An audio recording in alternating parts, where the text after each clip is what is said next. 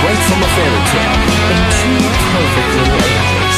Take a seat, sit right down, and welcome to all the lies, the tension, the guilt, the hate, the unspoken misery, cheating, faking, hiding, pretending, neglecting, demeaning, fighting, the resentment, the drugs, the abuse.